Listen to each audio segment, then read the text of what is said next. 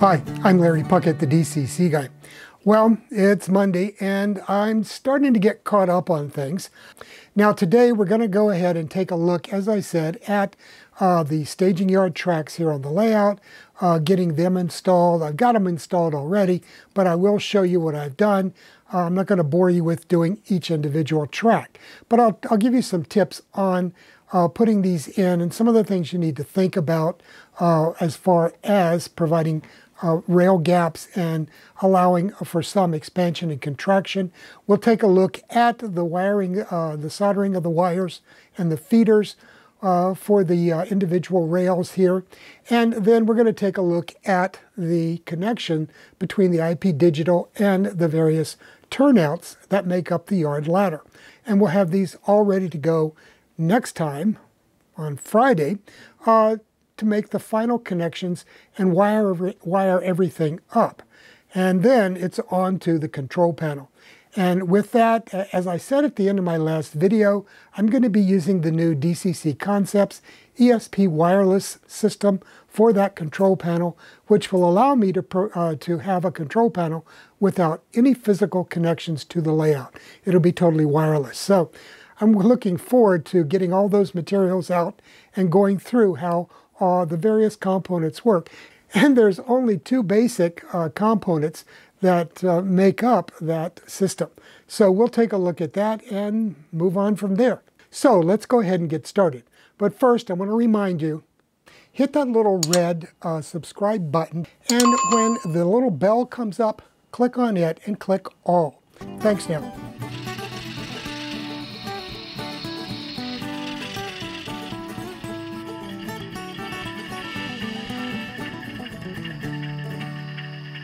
As you can see here, I've made a lot of progress here uh, with getting the staging yard tracks glued down using the liquid nails and uh, used the same process I used for the uh, yard ladder uh, so I didn't bother showing you all of that.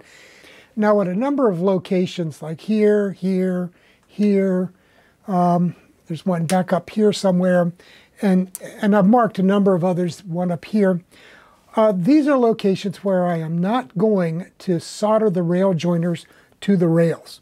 Uh, I, I typically solder all of my rail joiners except for certain areas, and I call these floaters.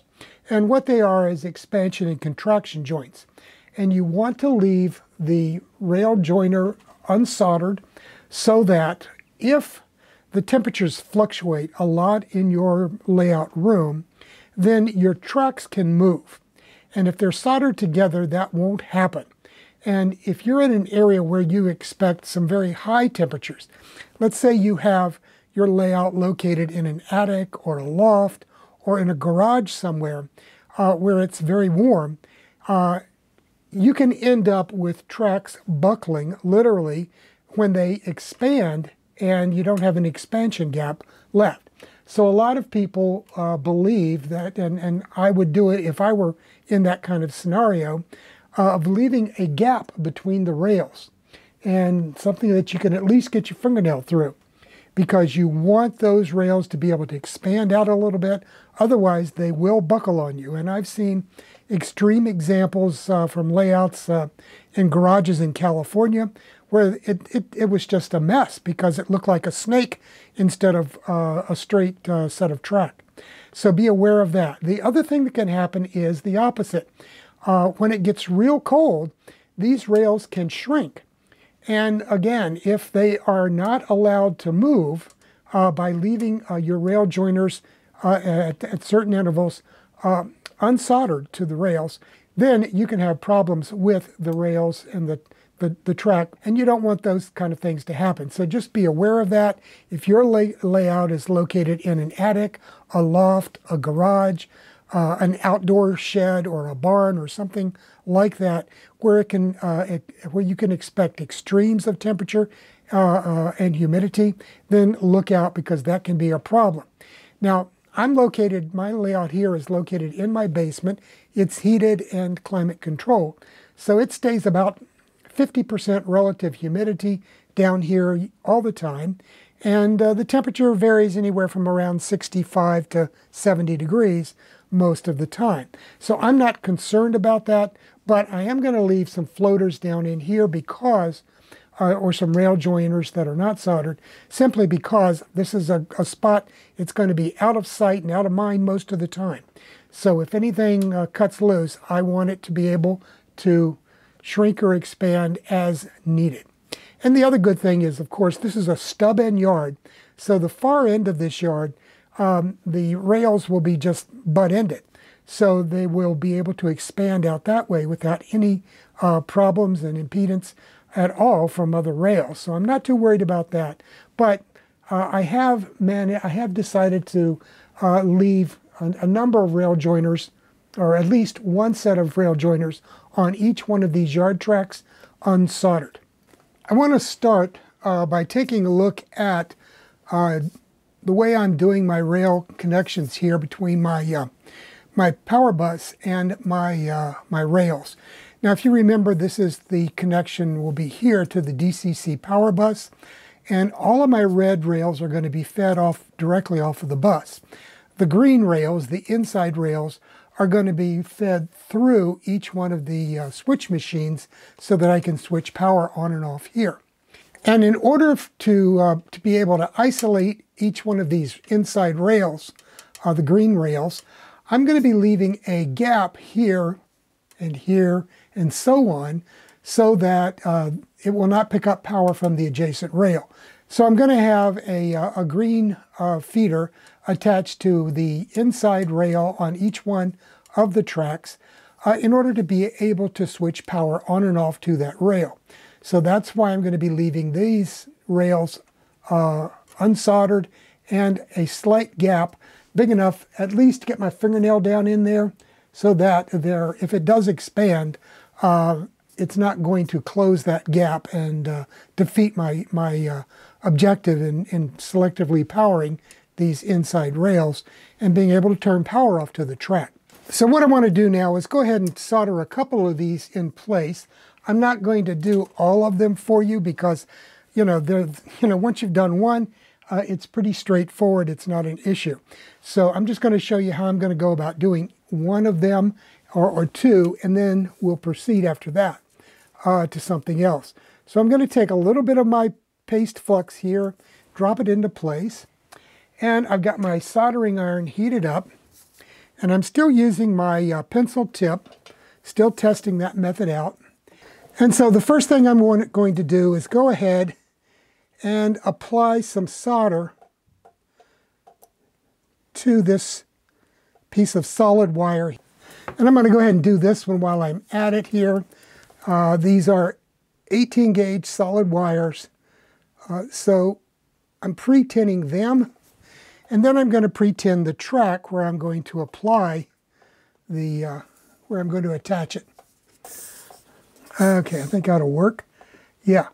So you can see I can get this tip right in there against the side of the web of that rail fairly easily and then just apply my solder very quickly in there. Okay, so that is prepared. Let me do the other one back there. We'll get that second one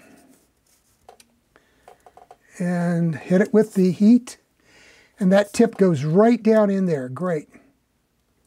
That's what I was wanting. And then it gets heated up very quickly and we get a good solder joint there.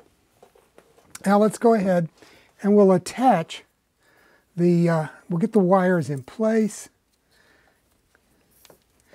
And the good thing is if you pre-tin all of your work like this, then as soon as you hit the work with the heat, it's going to melt and you're going to get a good solder joint.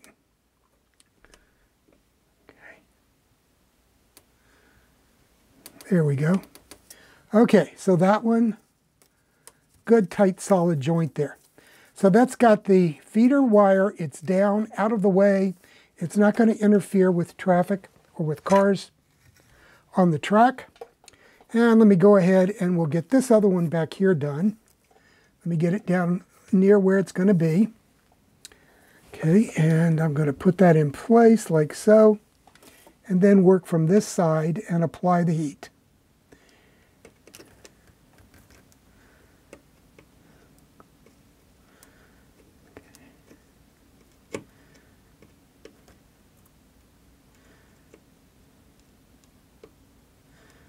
There we go.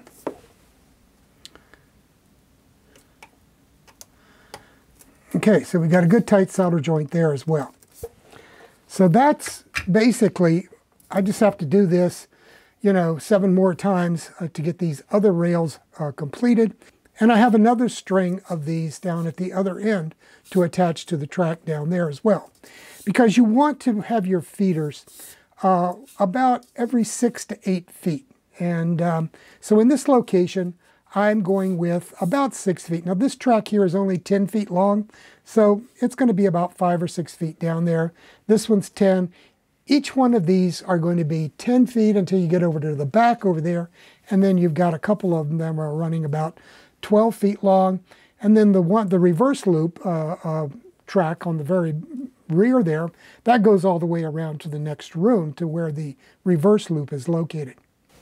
Okay, while we've got the soldering iron out, let's go ahead and take care of this rail joiners here. Uh, do a couple of those for you. The first thing I want to do is, I told you I need to leave a gap here. So I've got my Dremel tool with a cutting disc, and I'm going to go ahead and cut through here to make sure I've got a good uh, gap in between these two rails on the backside. This one up here, the, the front rail, I'm going to be soldering. Okay, let me turn this on and make some noise.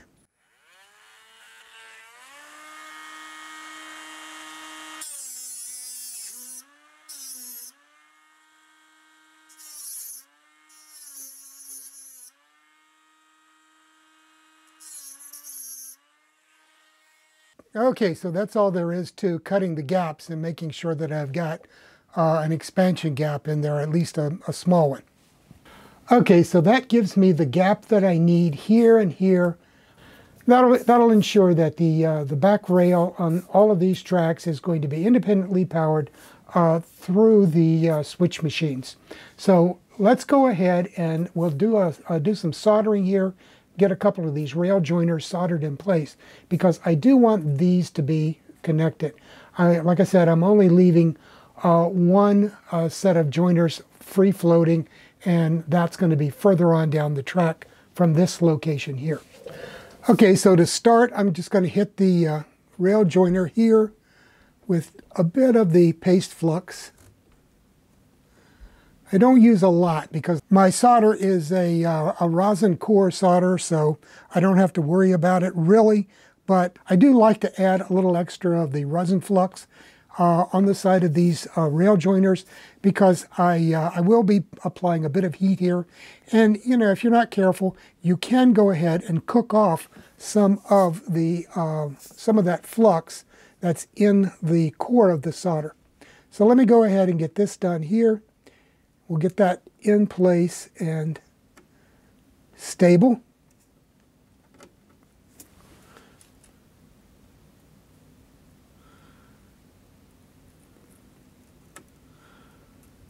There we go. So that's in place. Now let's do the next one behind it.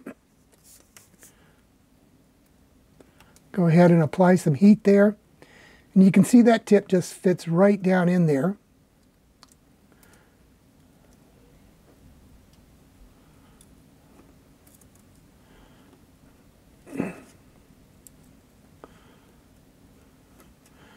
that solder will just flow right down into that uh, rail joiner. There we go. So that's two of those done now, and we have a good gap on the green rail here. Let's go ahead and take a look now at how I'm going to handle these green feeders. You'll note here that I cut this notch underneath of the uh, rails. And I've done that uh, with each one of these rails where I'm going to be uh, uh adding these feeders. So what I'm going to do is on this particular track here, I'm going to, or this rail, I'm going to add the feeder here run it underneath of the track through this uh, ditch uh, or through this cut that I've made, and then bring it up. And then I can attach it uh, to the device that I'm going to use to switch power. Now in this location, uh, the this track here is this track here is actually fed off of the last IP digital switch machine on the ladder. So I don't have a, a way of controlling this one. So what I'm going to do is something very different, and I'll show you that in a, in, in a next video. But I do have to bring a green feeder out to here uh, so that I can access the uh, device that I'm going to use to uh, switch power here. So let's go ahead and go and do that one first. So I'm going to take this feeder and put the little bend in it like that so that it's ready. And then I'm just going to feed it underneath here. I'm going to go ahead and pre-tin that wire.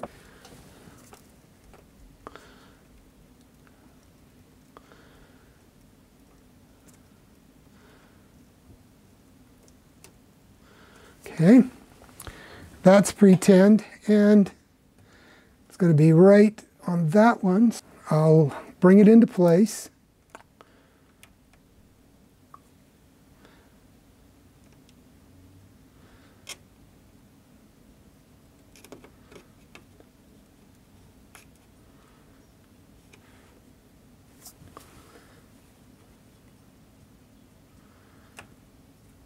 Okay, so that's a good solid joint. So what I'm going to be doing for the rest of these, I'm going to be using this 16 gauge stranded wire because, you know, this is going to be a very long run, 10 feet, and in some cases uh, 15 feet uh, for the green bus wire or the, uh, the green rail wire. And uh, in order to prevent voltage drops, I'm going to go with 16 gauge. Now, I might have been able to get away with 18 gauge, but you know, I did the calculations and I feel safer using the uh, using 16 gauge, a slightly larger wire, uh, so that there's less resistance and less chance of the voltage dropping down below a critical level. So you can see this green wire here that goes underneath of the rails. I'm going to be attaching a green feeder wire here, an 18 gauge wire here, uh, using my uh, uh, suitcase connector here. And then we'll attach it to the inside of this rail. I have my suitcase connector ready to go. I'm going to put it on the 16 gauge wire like that. And as you can see, I've already prepared a feeder ready to go into it. So let's go ahead and we'll add a feeder like that, ready to go. And now it's simply a matter of clamping down on this and getting a good solid uh, joint here.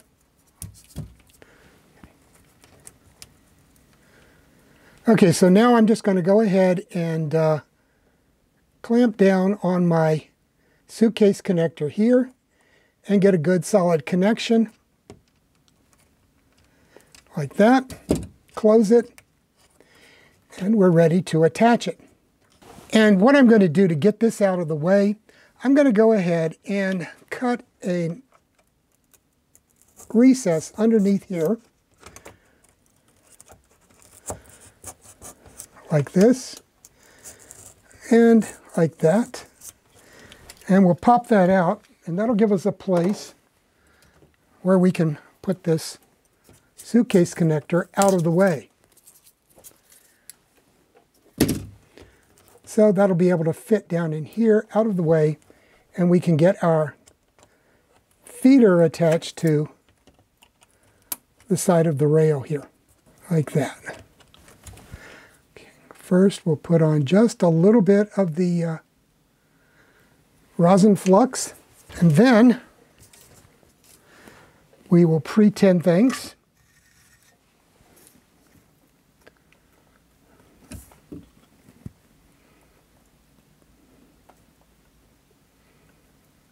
Okay.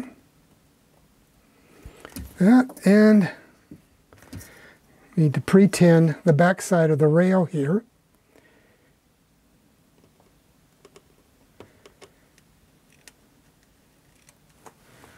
Like that. And I'm going to just set the feeder down here in place and hit it with a bit of heat, just enough to melt those, that solder together. Good solid joint in both locations. So you can see that's going to clear all of our rolling stock and nothing's going to be hanging down low enough to grab that. Now to hold these wires in place that I'm uh, running on top of the uh, foam, I have these uh, staples that are shaped like this. These are sold for uh, low vo to use with low voltage wiring, and so it creates a little rounded uh, hump here where the wire can uh, run through. And so I'm just taking those and pushing them down into the foam, like so, and those will hold it uh, firmly in place. Uh, if it becomes a problem later on, I can come back with some liquid nails for projects and tack these down at periodic intervals. But so far, these seem to be able to hold them down fairly well. So as you can see here, I've done one back here and the like. So those will, those will, I think will do the job very well. And once all of those green feeders are installed, then I can run those uh, to my switch machines that we'll be installing here in a minute uh, on the ladder. So in this installation, I'm going to be using the Cobalt IP digital switch machines that I uh, introduced to you in uh, previous videos. I use this for automating the reverse loop that's going to be used with this uh, staging yard. And I did a video on uh, the IP digital, comparing it to the tortoise and, and the like. So I'll put links uh, to uh, both of those videos above me here and at the end as well. And let's go ahead and take a look at how I'm going to use these here on the, uh, on the staging yard. Now, first of all, you, you remember I put in this uh, connection to the frog. So that's going to be connected here to the frog uh, outlet on the IP digital that it already has built into it. And I can just fit a slot and fit it right into that slot. I'll have my connections to the uh, main power bus to come into here. Uh, the uh, accessory decoder bus will go into here. And we'll go into all of that specialized wiring in the next video because in order to be able to do everything that I wanted to do down in here, uh, the IP Digital offers a lot of different capabilities built right into it. And that's one of the reasons why I decided to go ahead and, and use it down here as opposed to using uh, tortoises. In addition to that, it's got an accessory decoder built right into it. So it's going to work great with the uh, control panel system that I'm going to show you in a couple of weeks. I'm going to go ahead and show you how to install the IP digital switch machine and use it uh, to control the points here on the layout. Now, since I'm installing these right here on the top of the green foam, I'm just going to use these uh, foam pads. They're adhesive on both sides. And you just peel, peel one side off here like this and attach it to the bottom of the switch machine like that. I'm not going to peel the other one off yet because I want to show you some other things first. On the throw bar here on the uh, Micro Engineering and, and just about all other uh, turnouts I'm aware of, they have, you know, pre-drilled holes through the uh, throw bar. So I've got one on this side, one in the middle, and one on this side. And what I'm going to do is make a connection right here to this one. So what I've done here is, as you can see, I've taken the uh, wire that you normally would go up through the bottom of the layout. Uh, I just took it and put a 90 degree bend in it this way, and then another one 90 degree bend downward right here at my finger. So I'm going to be able to insert the end of the wire into the hole here in the throw bar. And then, whenever the switch machine cycles, it's going to move that set of points one way or the other. And I'll be able to control that using accessory decoder commands. So that's how I'm going to go about doing that. So let me go ahead. I want to go ahead and install all of my IP digital switch machines. I've got eight of them for controlling the, um, the turnouts here on the yard ladder. So I'm going to go ahead and get all of those installed. Uh, and then in the next video, we will proceed with doing the final wiring for all of this because by the time we get around to Friday, I will have all of the wires on the layout uh, connected. I will have the main power buses run. I will have the accessory decoder control bus uh, installed and operating. And then we can take all of these wires that I've been installing uh, up to this point, connect them to the IP digital switch machine, and see if this thing is going to work. But first, we're going to have to build a control panel, and that's going to come in about two weeks. So hang in there. We're, we're moving along quite well. Well, that's a wrap for today's video. Uh, I got a lot accomplished in the uh, in the last few days, and by the time we get back together again, I hope to have this yard pretty well uh, wrapped up and to the point where we can do a lot of the, the final wiring and do some final connections here uh, on the staging yard. So have a good week and uh, be safe out there. We'll see you here on Friday with another video from the DCC guy. Bye now.